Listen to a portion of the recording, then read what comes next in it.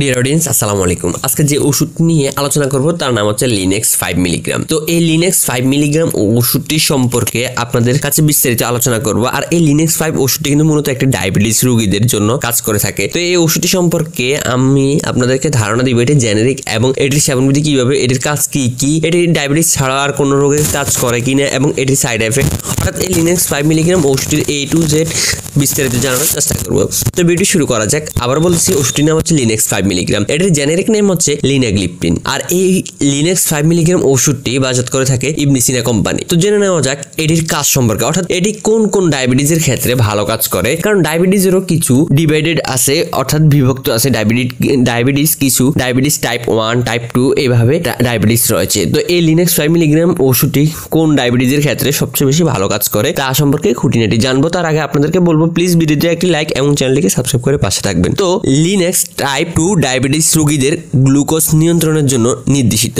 অর্থাৎ যাদের ডাক্তাররা যখন পরীক্ষা নিরীক্ষা করে বুঝতে পারে যে রোগীর টাইপ টু ডায়াবেটিস হয়েছে, তখন এই লিনেক্স ফাইভ মিলিগ্রাম ওষুধটি ডাক্তারগণ নির্দেশনা দিয়ে থাকেন।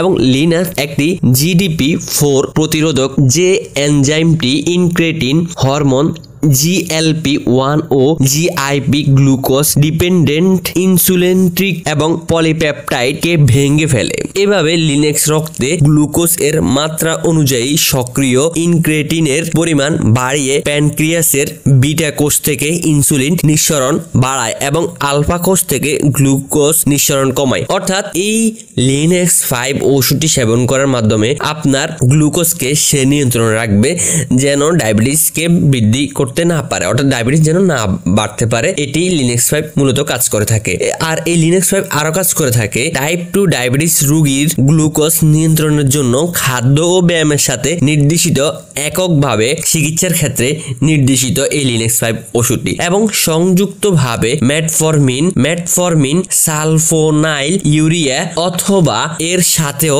নির্দেশিত। অর্থাৎ ম্যাটফরমিন ওষুধটি যেমন কমেট ম্যাটফো ফাইভ হান্ড্রেড এই ওষুধগুলোর সাথেও এই লিনেক্স ফাইভ হান্ড্রেডটি দিয়ে থাকে ডাক্তারগণ। কারণ এই দুটির ওষুধের ডায়াবেটিস দুটি ওষুধের সমন্বয়ে ডায়াবেটিস খুব তাড়াতাড়ি নিয়ন্ত্রণে চলে আসে।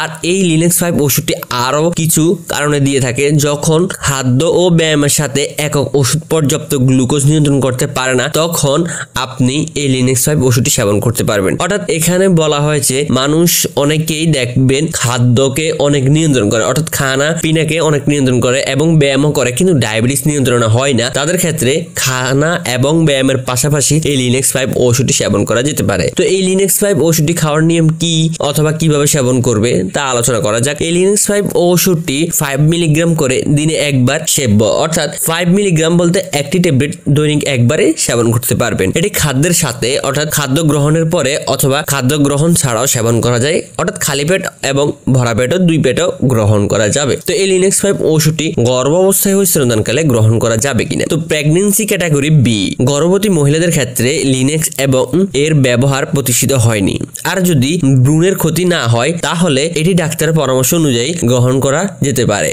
তো স্তনদানকালে এই লিনেক্স ফাইভ ওষুধটি গ্রহণ করা যাবে কিনা? লিনাক্স মাতৃদুগ্ধে নিশ্চিত হয় কিনা তা এখনও জানা যায়নি। তাই প্রয়োজন হলে এটি ব্যবহার করা যাবে ডাক্তারের পরামর্শ নিয়ে। তো এখন আলোচনা করব এটি সাইড এফেক্ট সম্পর্কে। সাধারণত যে সাইড এফেক্ট হয়, তা হলো মাথা ব্যথা, দুর্বলতা, মাথা ঘোরা, ক্ষুধা, ঘাম দেওয়া, এগুলো হতে পারে। এই লিনেক্স ফাইভ ওষুধটির বাজার মূল্য কত টাকা? এই লিনেক্স ফাইভ ওষুধটির বাজার মূল্য হচ্ছে এখন আট টাকা করে। আগে ছিল ষাট টাকা। অর্থাৎ এখন যদি আট টাকা করে প্রতি পিস হয়, তাহলে এক পাতা ওষুধ দাম আশি টাকা পড়বে। তো লিনেক্স ফাইভ ওষুধটি সম্পর্কে বিস্তারিত আজকে এই পর্যন্ত থাকল। পরবর্তী কোন মেডিসিন অথবা কোন সমস্যা সম্পর্কে ভিডিও করব, তা প্লিজ কমেন্টের মাধ্যমে জানিয়ে দিবেন এবং আপনার মতামত অবশ্যই কমেন্টে জানিয়ে দিবেন। তো সব ভালো থাকবেন, সুস্থ থাকবেন, আল্লাহ হাফেজ।